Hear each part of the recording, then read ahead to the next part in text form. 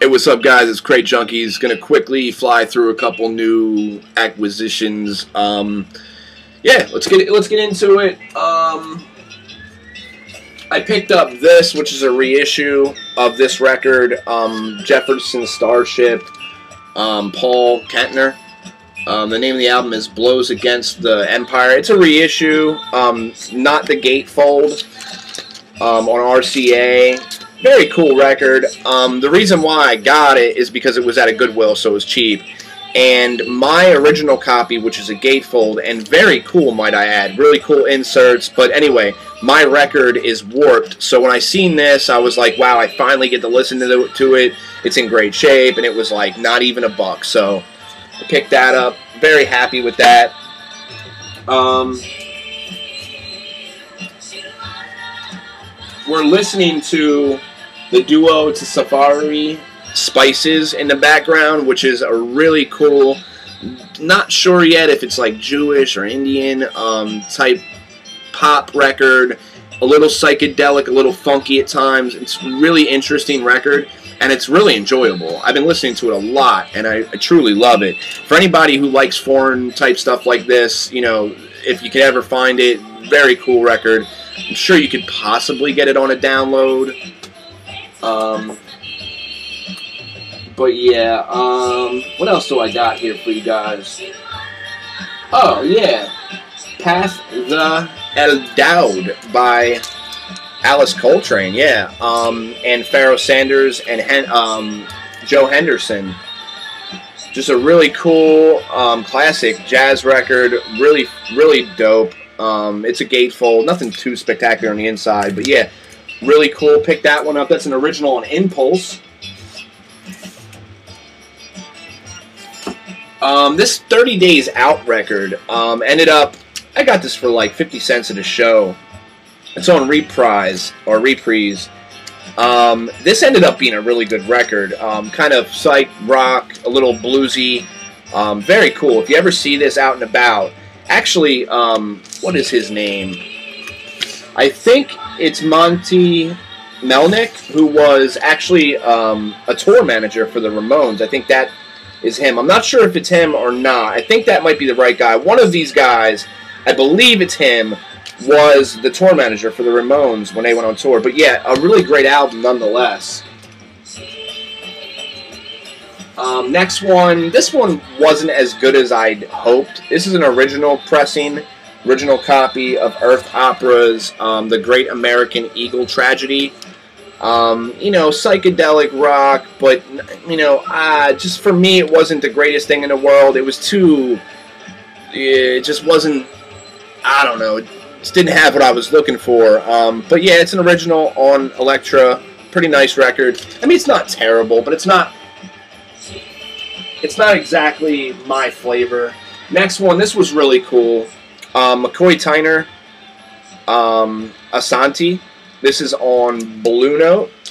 Um, very cool jazz record. Um, you know, post bop type stuff. Um, you know, really cool. I mean, I, I, don't know what more to say about it. If you ever see it, pick it up. I mean, it's a damn good record. Definitely pretty cool. Next one, Edward Vesala with Satu. Um, really cool. There's you know fusiony parts on this as well, but it's mainly like contemporary, even free at times. Um, jazz on ECM. Definitely a classic ECM release. Release one to definitely pick up if you like ECM stuff. Next one, this is probably the best record I picked up this week, or you know, within the last three weeks, because I this is basically what I've gotten in the last three weeks. I haven't been doing a lot of digging lately. But this is Kollektiv um, on the Brain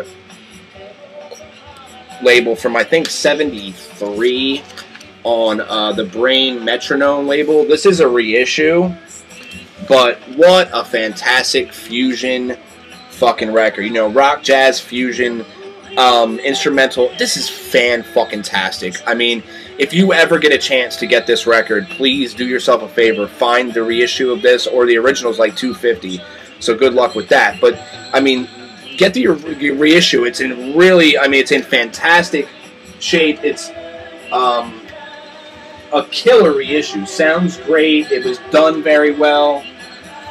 Next one, Time Wind by Klaus Schulze. If you're familiar with like Tangerine Dream, Brain Records. Um, this is an original on Brain.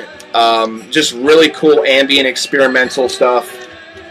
Um, there's a little surprise on this record. If you get it and listen to it on some headphones, you'll find that out. I'm not going to give the secret away now, but I just think it's a really cool thing. Just a fantastic record. Side 2 is a little different from side 1. 30 minutes each side. Uh, just fantastic. Fantastic ambient electronical music. Really cool. Well worth a pickup if you can find it.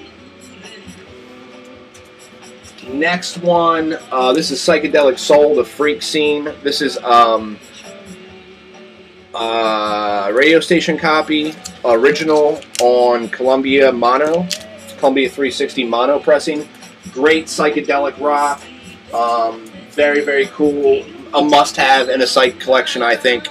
Um, this next one, really great dub, original from 1981. This is the Scientist or Scientist Scientific Dub. Um, basically, you know, you're running the mill dub stuff on Clock Tower Records. Um, this just recently came out as a three album set on Record Store Day on a 10 inch. Um, they were all colored vinyl. But if you know if you're in into dub and stuff, you ever see this out and about, pick it up. It's definitely classic dub shit. You'll love it. Um, next one, I got Orchid's new album on yellow vinyl. It's also etched. Um, I'm not going to show the etching only because it really doesn't show up well on screen. But yeah, yellow vinyl, double LP, great. Um, you know, stoner um, stuff like that. It's, it's, really good rock and roll, stoner, stoner rock, sludge, whatever the hell you want to call it. Um, really good stuff. Next one, this I showed before, but I guess I'm going to show it again. Mystic Number, National Bank, really good psychedelic blues type stuff from the 70s on Probe. Really great record there. Pick that up. Um, next one, I had to get myself another uh, copy of Uncle Acid and Deadbeats Mind Control. You know, Bloodlust was a great album. This one's just as good. I got this on white vinyl. Really cool. Really nice gatefold on that one.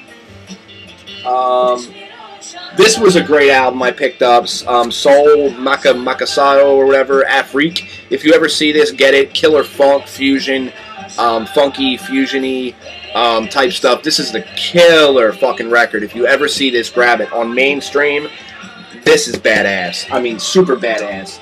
Thank you, Big Star, for uh, recommending that. Definitely a cool record. Next one, um, if you're into, you know, circa Afro beat type stuff, this is um, a band called Kangas, or not, not Kangas, um, called Destruction.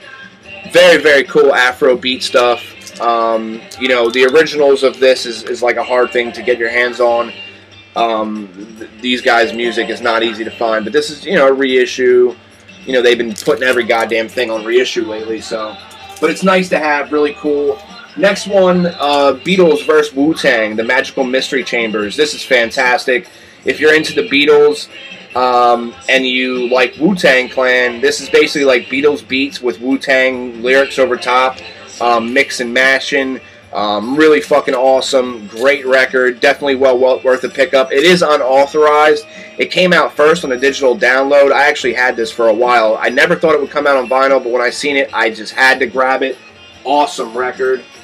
Um, next one, Italian progressive music.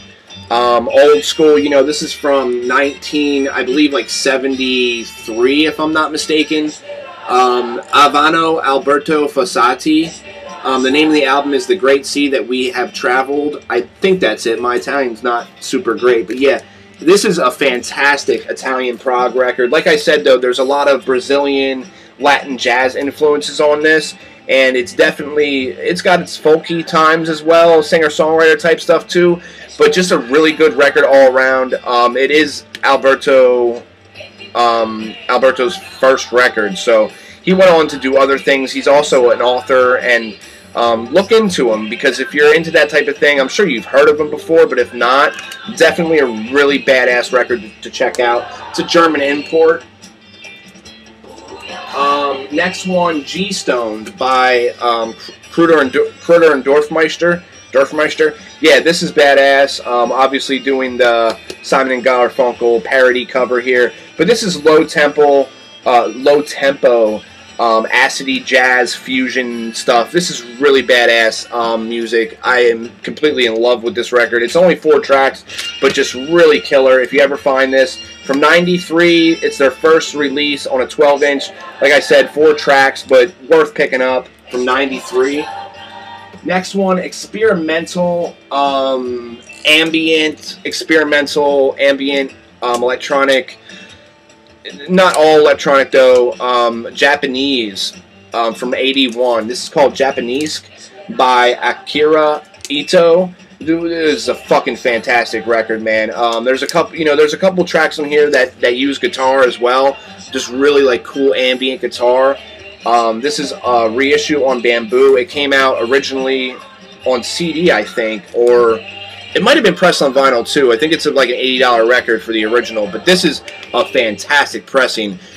Um, if you ever see a, a, pressing by Bamboo, do not hesitate to pick it up. The vinyl is fantastic, um, just fantastic, and the music is is even just as good. Um, Derek would love this shit. I mean, I know he likes Japanese ambient type stuff. This is this is top notch right here. Really badass record. Um, next one. This is an original pressing of Ornette Coleman's Love Call on Blue Note. Um, I'll show the Blue Note right there. Um, and I'm not really going to talk much about it. I mean, it's, it's a fantastic jazz record. It's one I've been wanting in my collection for a while. Finally picked that up. Um, next one, I want to thank Sequoia Flame for introducing me. Um, if you're a fan of Acid Mother's Temple, this is definitely something you'll be into. Before Acid Mother's Temple, um, Kawabata uh, Makoto was in a band called Mainliner. Um, they recently released a, a, new album. I think it's been like 12 years or something called um, Revelation Space. And I ordered this from Riot Season really badass fucking record. I mean, if you like, um, if you like Acid Mother's Temple, you'll like this. It's on white vinyl, really nice um, labels on that. Actually, have to keep that out to clean it. So that was that, and that was pretty cool. I found a white label promo copy of Ram Jam's Portrait of an Artist as a Young Ram. It's a white label radio station copy. Um, I picked up a Baroque record, which just classical Baroque, which I enjoy from time to time. Um, I found another really cool hillbilly record in mint condition, Big Slim, The Lone Cowboy. I've been finding a lot of these hillbilly records. This is on ARC. Like I said, the the vinyl's like fucking near mint. Uh, the whole album is is like near mint. And then I picked up a Chopin a Chopin, Chopin record, which I absolutely love Chopin or Chopin.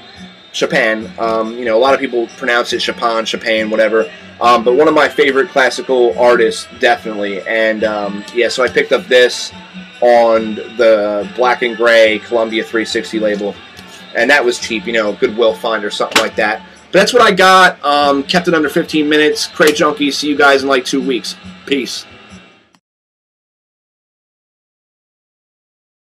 Pop record a little psychedelic, a little funky at times. It's really interesting record, and it's really enjoyable. I've been listening to it a lot, and I, I truly love it. For anybody who likes foreign type stuff like this, you know, if you can ever find it, very cool record. I'm sure you can.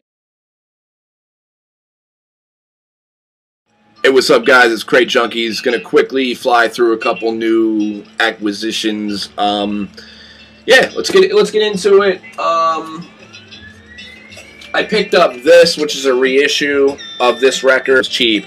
And my original copy, which is a gatefold, and very cool, might I add. Really cool inserts. But anyway, my record is warped. So when I seen this, I was like, wow, I finally get to listen to, the, to it. It's in great shape, and it was like not even a buck. So I picked that up. Very happy with that.